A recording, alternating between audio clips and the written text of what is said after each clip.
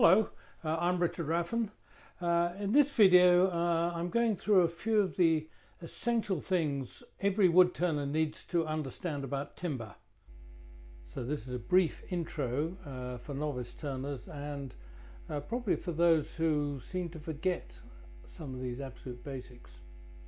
As you can see this is a, uh, a small tree, shrub, I can't quite remember what it is now, um, and I've cut it uh, really to illustrate um, the strength of a tree which lies in the grain running this way. That's why a tree can bend in the wind and that kind of thing. So the length, the bit which has come out of the middle, that's incredibly difficult to break. Uh, with the best effort, I could probably break it uh, in two lengthways, but I, I can't do that. Whereas the bit which I took off the end here, which is the end grain, really breaks very easily. And here's a bit of maple, which is uh, probably a bit stronger, definitely a bit stronger, but it still um, will break without uh, a huge amount of effort. Now that's one basic thing to bear in mind about uh, the strength of timber, uh, that the long grain is always much stronger than the, uh, the cross grain. So for anything long and thin, uh, like for instance a tool handle, uh, you mount that between the two centers and the grain is running along the handle. If this was cross-grained here, uh, I'd probably be able to break it very easily. Wood mounted on the lathe between two points is called center work or spindle work. Um, the grain needs to be as straight as possible uh, and near parallel to the lathe axis. The axis is the bit about which the lathe uh, is the, uh, the, the line there around which the wood spins. Now the with the grain running this way, you always want to cut from larger to smaller diameter.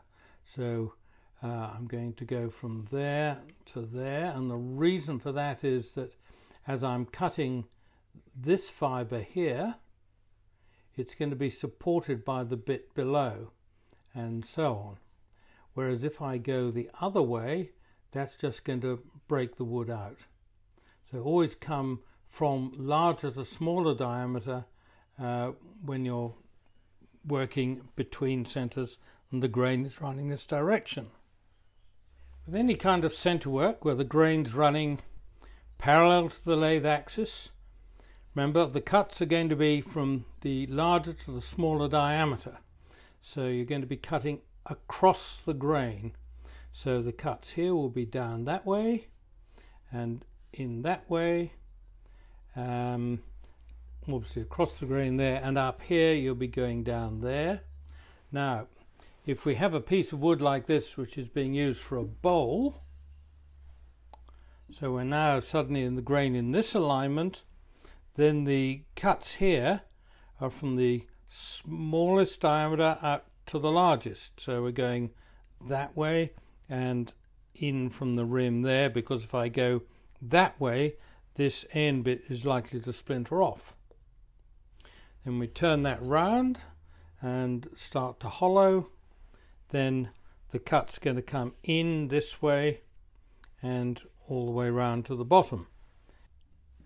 And of course, when you start hollowing, that means you probably have drilled a depth hole uh, and take a series of cuts in like that to the middle. There are several ways of doing that. So, uh, a piece of wood like this, this is uh, a piece of pine, was growing in the tree that way. Now let's have a look at that. So the strength is going to be here. Um, these are the growth rings, the annular rings, which uh, in this are fairly strong, and you can see them on the end grain here. Now, when wood dries out, you can see there's a lot of kind of soft stuff in here, and that's really what takes the moisture or holds the moisture in the wood. And as that dries out, that means this is going to shrink in its uh, in its width. Uh, but the length, the hard bits here, um, they barely shrink at all. So the thing to remember about this is that uh, this bit will get narrower um, and with changes in the season, it might even expand a bit, whereas the length will stay pretty much the same. So this is a small log, as you can see, of uh, I think of some sort of fruit wood, but it's very typical of what happens to a log as it dries out. Now this has been lying around for probably uh, a couple of months, and you can see that the splits are all radiating towards the pith in the middle. Now, if you remember, I explained on this bit of wood that the uh, in the pulpy area here, that's what takes on the moisture. Um, and as that dries out, the wood shrinks in diameter. Now, what happens here is, so the growth rings are going around here, there's more moisture in the outside rings than there is on the inside ones. Therefore, there's more shrinkage on the outside, which is why the logs split from the outside in towards the center. Now, if you're lucky, you'll just get one big split as the whole log is shrinking around that. Um, in this case, splits are cut here so that you can see how the splits come down to the bottom and uh, this log really is firewood unless you want very small pieces out of it. Uh, it really isn't worth bothering with um, because turning something like this is basically dangerous. Now this is a piece of silky oak uh, which was cut about six weeks ago. Um, it's got a big split up through the middle, down that side. But I know from uh, what I see on YouTube and elsewhere is that people cut a disc out of this and turn a bowl out of it. Um, and they spend an enormous amount of time filling these splits with epoxy and that kind of thing. But basically, turning something a blank like that is is dangerous. It's likely to uh, fly apart, especially if you turn the lathe on at too high a speed. So with a, a, a log which is split like this, you really want to take a look at where the splits are and the first cut here should be right down the middle to get rid of that central split. And I've made a number of videos on how to go around uh, cutting up logs so you get blanks which are safe to turn basically. Uh, this has got other splits up the other side. Now this will probably be very good for things like spatulas. Uh, I could probably get two tool handles out of it, um, not bowls, that's for sure. This blank was uh, sawn originally uh, for a bowl. Uh, this surface was flat, as was this, and it's a fine example of what a log does as it dries out.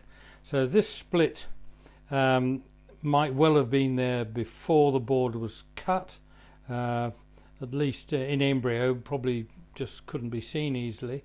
The pith was somewhere up around here. This is a bay tree. Um, and as the growth rings, wider growth rings out here dried out, uh, that basically pulled the pulled the log down, shrank it down that way, and so whenever uh, you cut a log through the pith, as it dries out, it's going to do that. Now we can see that on this log has done the same thing, only to a lesser extent. Uh, this is uh, cut as a again as a as a bowl blank uh, or a dish. Uh, there's a split up the middle here, and you can just see the split coming down to here. Now, it hasn't moved quite so far, fairly dense grain here. Um, so when this gets cut, it's going to be cut down the middle and I'll get several blanks out of it. Uh, or I might get, if it works really nicely, I might even keep it for boxes, uh, small end grain boxes. So if you're turning anything long and thin, requiring strength, you want the grain running parallel to the lathe axis um, same little pencil pots here, little mallet, bigger mallet, the grains running that way right the way through it. And if you turn a similar looking thing, uh, only this is cross grain, you can really expect it to warp somewhat, uh, which is what I wanted in this particular piece.